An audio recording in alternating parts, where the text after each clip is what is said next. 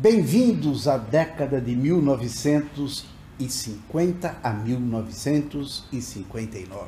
Estamos no ano de 1956, falando desse grande poeta, ator, cômico, músico, compositor Adoniran Barbosa, que a gente vai conversar hoje sobre a música que muitos de vocês não conhecem, chama Apaga o Fogo Mané.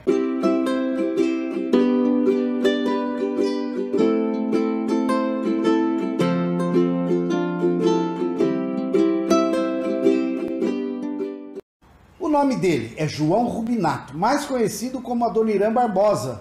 Ele nasceu em 1910 na cidade de Valinhos, aqui no estado de São Paulo, e morreu na cidade de São Paulo é, no ano de 1982 com 72 anos de idade. Ele foi compositor, cantor, humorista, ator, mas abandonou a escola muito cedo, pois não gostava de estudar. Ele precisava mesmo trabalhar para ajudar a família, pois ele tinha sete irmãos, era uma família numerosa. E os Rubinato, né, viviam mudando de cidade, eles moravam em Valinhos, Jundiaí, Santo André e finalmente foram para São Paulo em busca de oportunidades. Pensou assim, com o nome João Rubinato eu não vou ter futuro nenhum. Ele queria estar no rádio, ele queria estar no teatro, e ele falou: esse nome é muito ruim. João Rubinato. Se eu precisar algum dia de ir novamente, não sei o que será, pois vivo na mal. Então, com 22 anos, ele empresta o nome de Adoniran, de um amigo que trabalhava com ele no Correio, e Barbosa, de um companheiro, de um companheiro boêmio, Luiz Barbosa, um cantor de samba do Rio de Janeiro.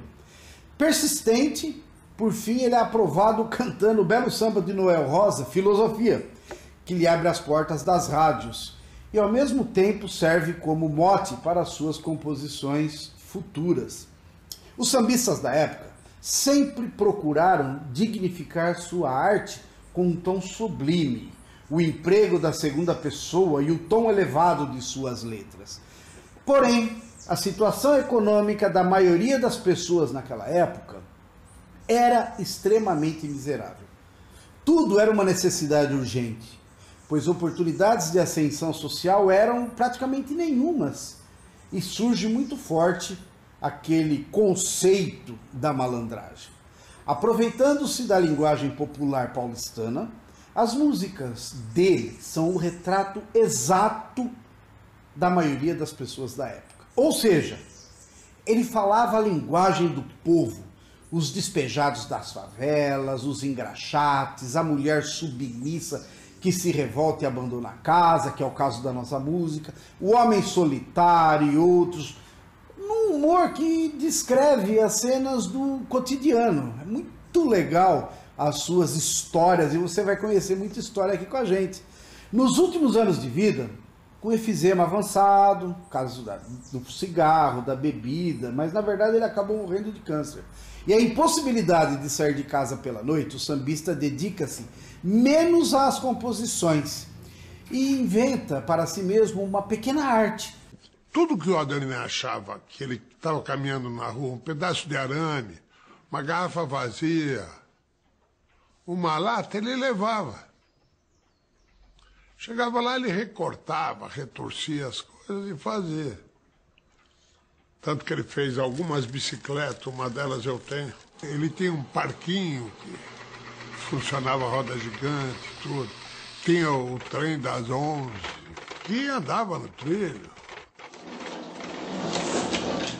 Tá bom, para aí. Onde é que você quer ir, meu senhor? Esse é o fim da linha.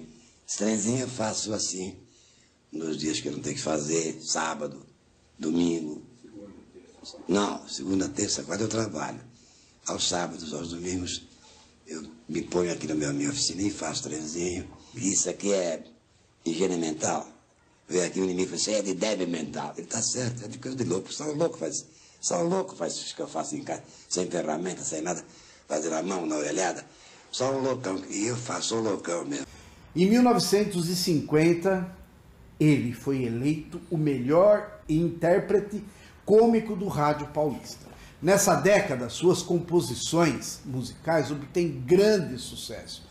Podemos afirmar que Adoniran Barbosa é o mais autêntico representante do samba paulista.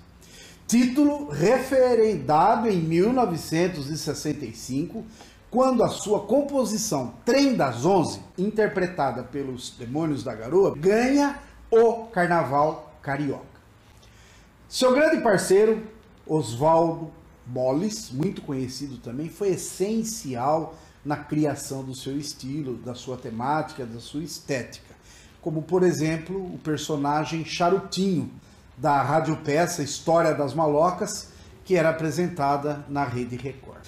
Esse foi meu grande amigo, morreu, coitado. Esse, esse cara não, não existe outro igual, nunca mais vai aparecer outro igual Oswaldo Mori. O cara é 100%. Dona Irã e Moles eram um completava o outro. Se você quiser conhecer um pouco mais, eu recomendo que vocês assistam um documentário do Adoniran, né, chamado Por Toda a Minha Vida, bem como o filme agora, recente, de 2018, do diretor Pedro Serrano, Adoniran. Meu nome é João Rubinato. Qual era o momento da história? Foi o primeiro ano do governo do presidente Juscelino Kubitschek.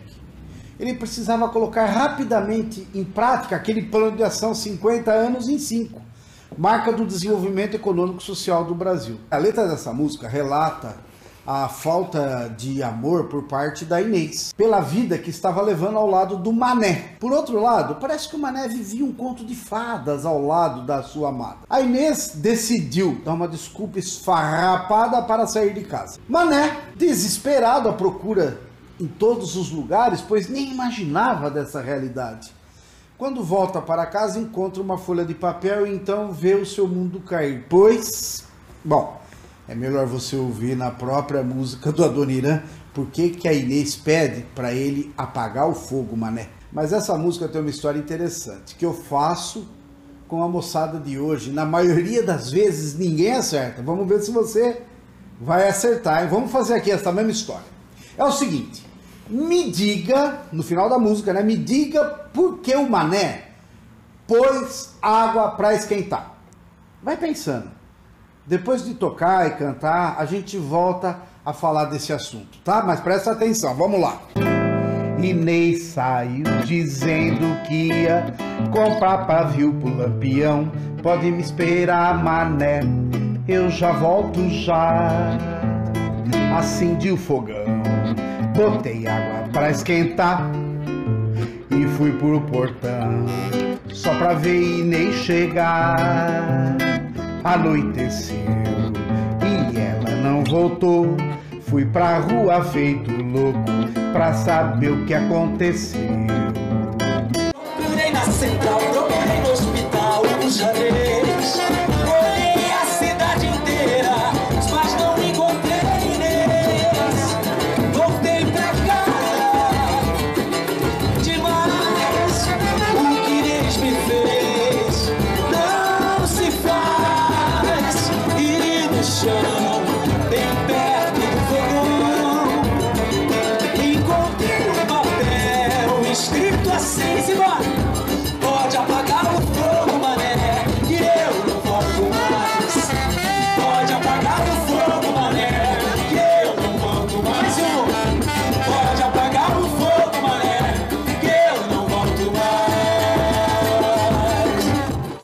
Aquela pergunta que eu deixei antes, né? Por que, que o mané pôs água para esquentar? Você não vai me falar que foi para fazer um café ou um chá, né? Mas na verdade foi para tomar banho. Como podemos concluir disso? É, se ela foi comprar pavio para o lampião, é porque provavelmente na casa não tem energia elétrica. Note que praticamente em todas as músicas do Adoniran sempre tem alguma emoção. Geralmente é tristeza que toca a nossa, a nossa alma e o nosso coração.